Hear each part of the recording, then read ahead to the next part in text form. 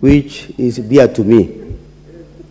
Having have worked in this system for a very long time, I really feel passionate about this um, subject matter.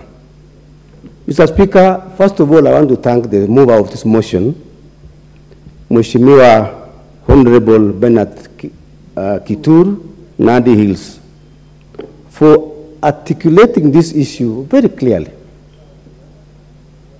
I want to thank him because it's a national issue and he has come out to really tell the world that we need to talk about this issue.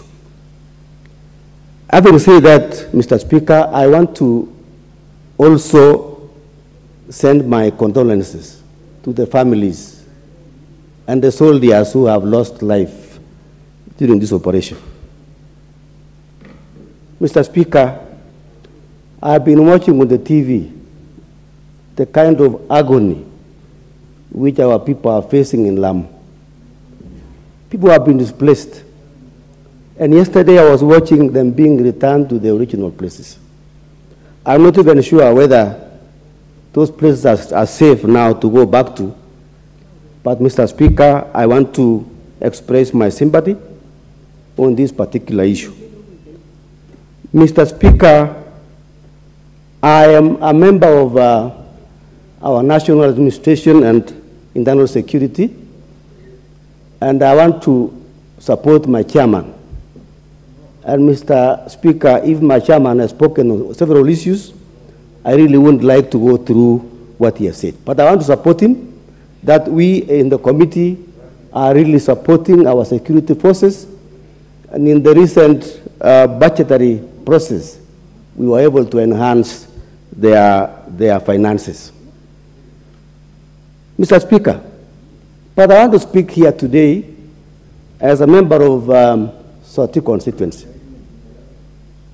Mr. Speaker, on Saturday, we buried a young man who was working with KDF by name Chastas Kipkorir a very young soul. And, Mr. Speaker, it was a very sad moment to have lost this young man who left a widow, a very young widow. And Mr. Chairman, I would like, Mr. Speaker, I would like to support whatever my colleagues have said, that we need to look, at the compensation to these um, lost souls. Mr. Speaker, a lot of issues came out during that um, funeral. One, and which people are asking me, and I want to say this, is about the criteria which the system use to identify officers who are going to this battlefront. This young man, Mr. Speaker, only joined the service in 19, uh, 2021. And Mr. Speaker, people are expressing their, their doubts whether these people are experienced enough to go and be in the forefront. People are also, people are also asking me hard questions. One was about the kind of living conditions in which our officers are living. And, uh, Mr. Speaker, we are going to discuss this in our committee. As a member of the committee, I would like to discuss this issue. But, Mr. Speaker, I want to um, mention one person who has done a very good job in this government. And this is the CS uh, Administration and National Security, Professor uh, Kindiki Kithure.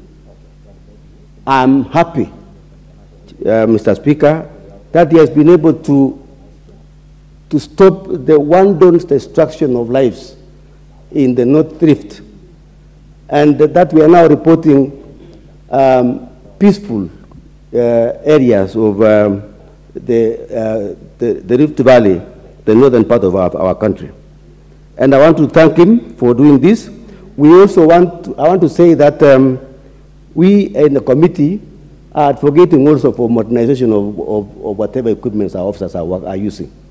And